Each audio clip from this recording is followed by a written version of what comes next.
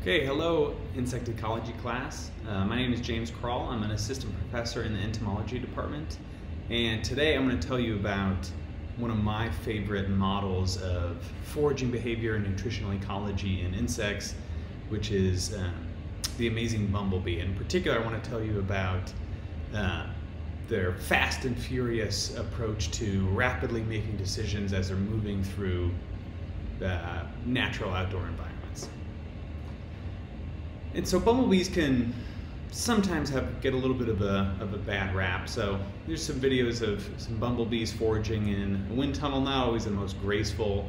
Um, and in fact, during Darwin's time, there were no bumblebees. Bumblebees were called humblebees. Uh, and when they changed, the, the name was eventually changed to bumblebees, there was a great quote uh, from an article describing this change, which I like, which is the clumsy looking furry bee with its pitifully small wings and tubby body was the perfect match for its new, slightly belittling name, as it bumbled from droopy bloom to droopy bloom.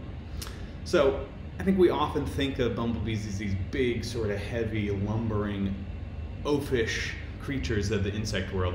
But what I want to tell you in part today is uh, about how actually amazing they are as uh, little flying machines. So this is a pretty um, typical everyday scene we're used to seeing, especially if you're in the insect ecology class. My guess you spend a lot of time uh, outside looking at nature. This is a um, little video from a hillside in the middle of summer in um, Vermont. I just want to replay that, highlighting something you might not have seen, especially at this resolution, the first time, which is a foraging bumblebee outmaneuvering through this environment. And so when we move through this environment, it's not particularly challenging, right? Uh, we can walk through the grass, maybe, you know, there's some thistles or something catching our feet, but in general, that's not a hard environment for us. But think about being uh, a bumblebee forager that weighs about 150 milligrams flying through this environment. That is basically like flying through skyscrapers that are moving back and forth, um, that are structurally complex, temporally dynamic because everything's moving, um, and they're maneuvering through this environment um, with all the energy they need for flight kind of on their back, and so they really outperform any any man-made creature. So this is a, a video sort of slowed down, looking really closely at that moment of a bumblebee flying. In this case, through some turbulence to to get to a fake flower here on the right. And this bee, she's beating her wings 200 times a second. Um, she's adjusting the movements of those wings in really subtle ways to maneuver as the, the wind is buffering, buffering her around. They're fueling all that flight again with all the energy on board um, that they need and with about a, several orders of magnitude fewer, fewer neurons that we have in our brains. So they really dramatically outperform any ability to fly through these natural environments that we have or drones have, for example. So they're, they're pretty amazing creatures. And all of that adaptation to moving through and flying through the environment is really aimed at a pretty simple thing, and that is getting as much food as fast as possible from the environment to fuel themselves and to fuel colony growth. So in particular, what bumblebees and all bees, for the most part, are getting from flowers are two things. Nectar Nectar primarily provides carbohydrates, which we not exclusively, but mostly think uh, fuels adult metabolism. So being a bumblebee is costly, flying is hard, uh, and bumblebees also, like many other social insects, actively incubate the developing brood within the nest so they can heat up their abdomen.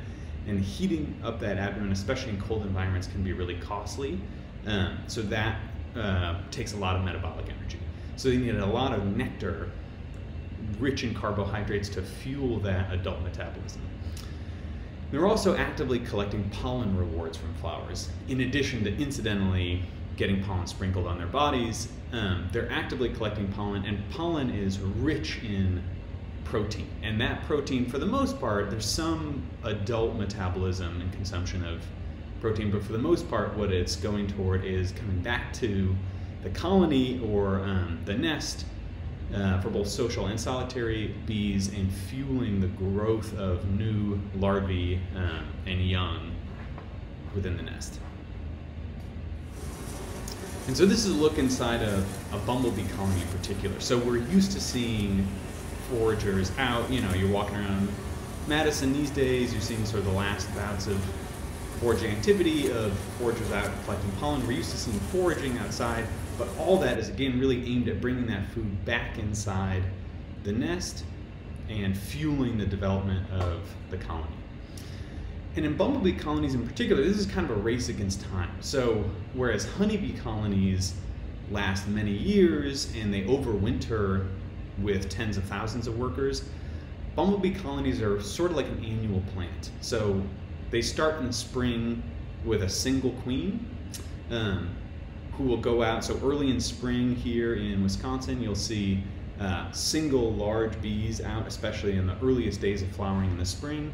Uh, and those are single solitary queens that don't have any workers yet that are going out and gathering their own resources from um, flowers, bringing those back to the nest, and incubating, developing eggs that they've laid, and provisioning them. Once those eggs develop into new workers, those workers will grow and start taking on some of that colony labor. Um, and so the queen will start staying in the nest. So you don't see the queens, even though they're still around, you don't see them in midsummer because that now the foragers, the new workers have, have taken over um, that, that activity and foraging work.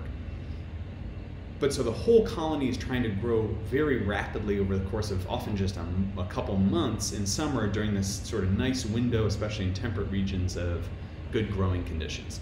And then at the end of the season, they send out reproductives um, and new males and queens, and they disperse out from the colony, mate, all the males and all the workers die, and then the queen restarts.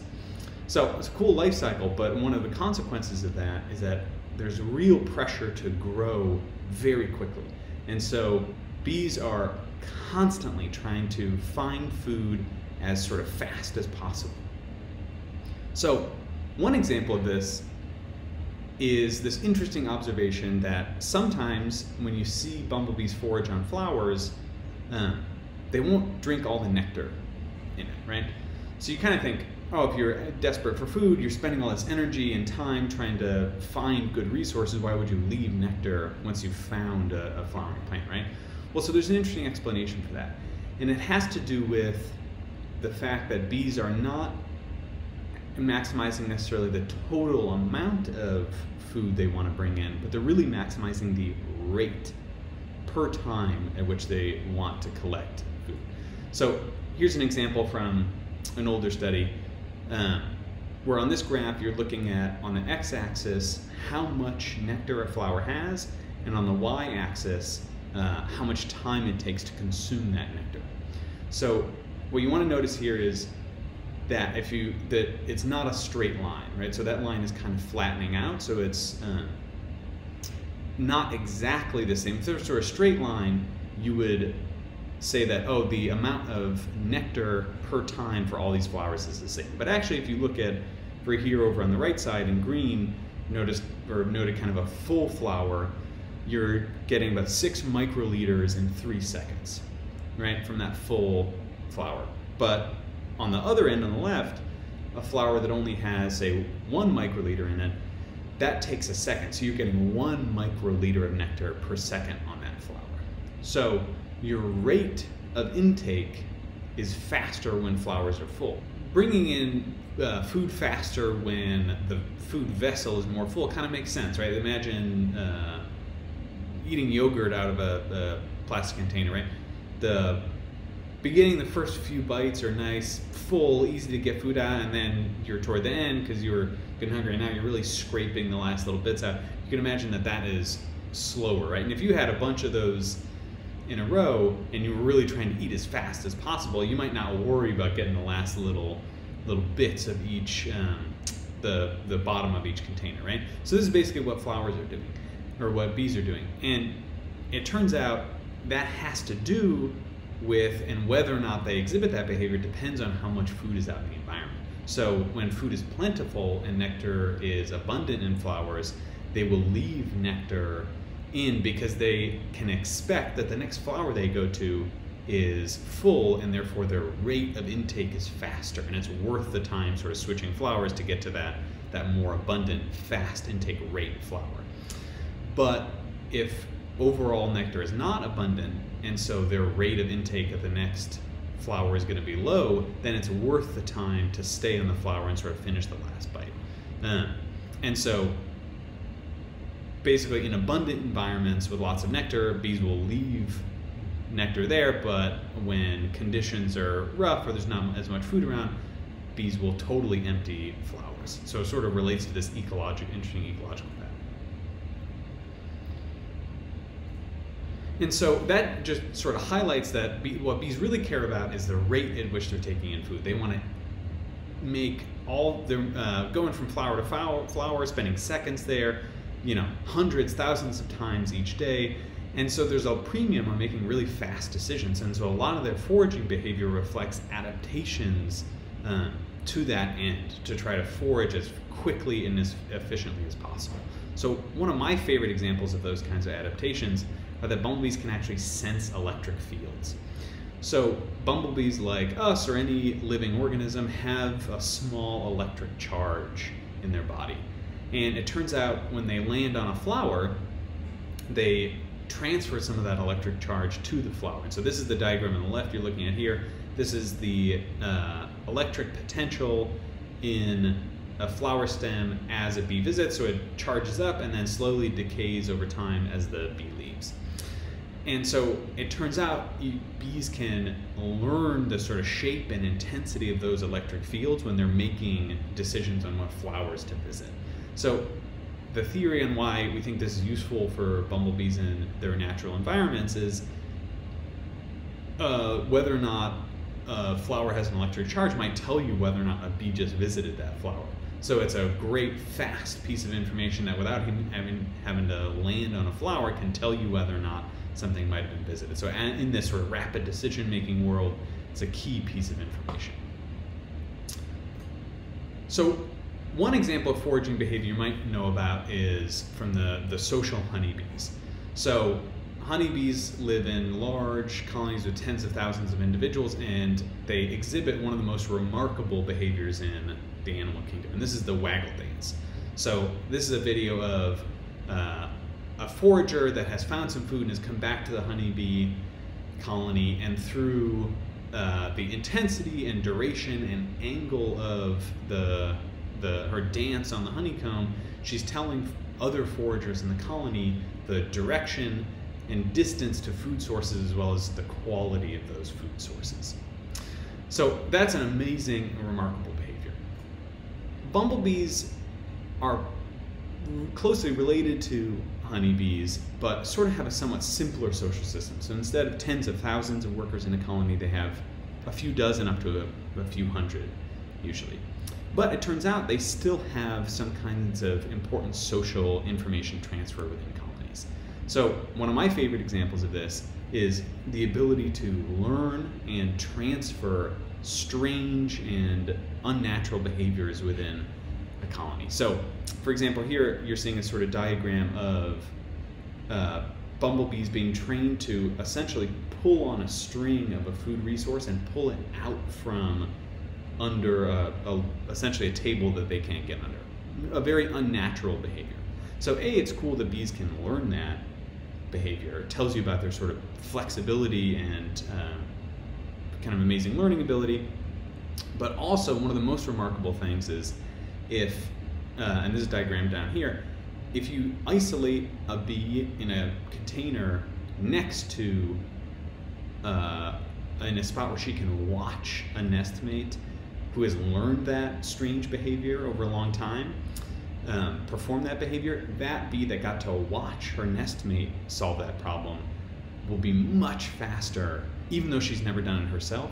She learns by watching and sort of paying attention to what her nestmate is is doing. And this doesn't work if you know it's a human or some other um, way of manipulating that. It's really specific to paying attention to the motor patterns of fellow bumblebees and what they're doing, and then, uh, yeah, these bees can can learn this. So not only can they learn strange behaviors, but they can socially and sort of culturally transmit those behaviors to other bees within. And finally, I just want to tell you about one of my another sort of amazing example of clever bumblebee behavior. So, one thing that happens is sometimes, for whatever reason, there's not enough flowers or food in the environment around you, right? Um, and so you might think that bees just say, well, we had a good run, there's no food, you know, better luck next year or to someone else that survives. But turns out they can actually take an active role in producing food. So here what you're looking at in these diagrams is uh, on the left side, this is a picture of a bumblebee biting and inflicting mechanical damage on a plant that is not flowering. And on the right, where you're seeing your graph showing that that actually induces flowering faster than um, if just then controls that don't have any mechanical damage or manipulation. So it turns out the bees are able to induce plants to produce food for them faster when they're hungry and there's no food in the environment. So that just gives you some examples of uh, the amazing behavioral world of foraging in bumblebees and that they're not just these sort of tubby, droopy, slow moving creatures. They're really remarkable, very sort of fast paced, uh, amazing animals, and I'm looking forward to, in our activity this week, uh, seeing some of that firsthand.